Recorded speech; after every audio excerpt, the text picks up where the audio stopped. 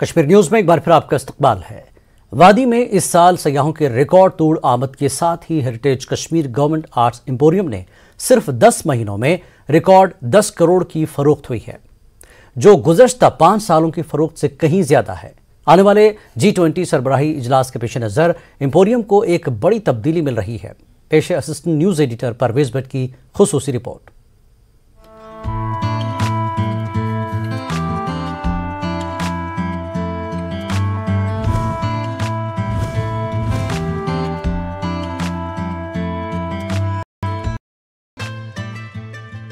Heritage Kashmir governments arts emporium सबसे कदीम और काबिल एतमाद कश्मीर हैंडीक्राफ्ट शोरूम में से एक है, जो हुकूमत के ज़रिए चलाया जाता है।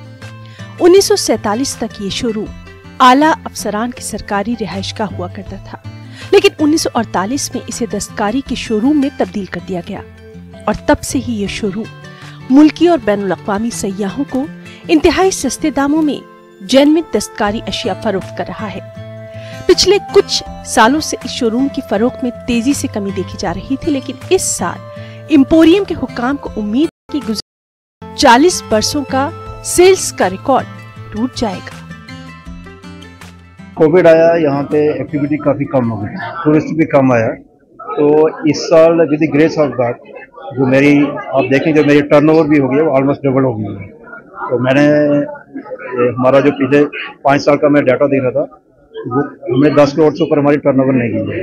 तो इस साल मैंने अभी अक्टूबर एंड अक्टूबर में दस करोड़ मैंने क्रॉस कर लिया है। तो होपफुली फोर्टी साल का रिकॉर्ड इस, इस साल मैं तोड़ने जा रहा हूँ। तो इसमें क्योंकि टूरिस्ट भी काफ़ी आ रहा है। हेरिटेज कश्मीर गवर्नमेंट आर्ट्स सिर्फ़ genuine G I tag products फरोख्त करता है बल्कि उन्हें हुकूमती मंजूर शुदा कीमतों पर फरोख्त करता है। इम्पोरियम पेपर मैशी, लकड़ी के नक्शो निगार, शाल, कालीन और जेवरात की अशिया के लिए बेहद मशहूर है। इम्पोरियम ने हाल ही में ऑर्गेनिक ब्यूटी किट्स भी मुतारफ किया है, जिसकी मांग बहुत ज़्यादा देखी जा रही है। और शोरूम इन दिनों सयाहों से खचा खच भरा नज़र आ रहा है। ये फुली हैंड क्राफ्टेड है।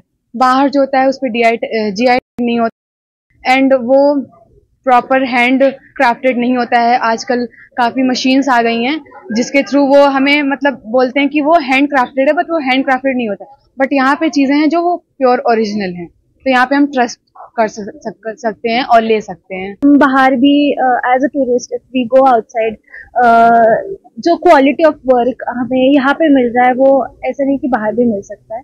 देर आर लोकल आर्टिस्ट जो बाहर भी थोड़ी कम दामों में बेचते हैं, यहाँ पे it's quality we are getting G twenty सरबराही इजलास आइंदा साल इंडिया में होगा। इस पेश नज़र इम्पोरियम को एक बड़ी अहमियत मिल रही है और हुक्काम को भी उम्मीद यही है कि अब न्यू लुक के साथ ये इम्पोरियम मजीद सयाहों को रागब करेगा।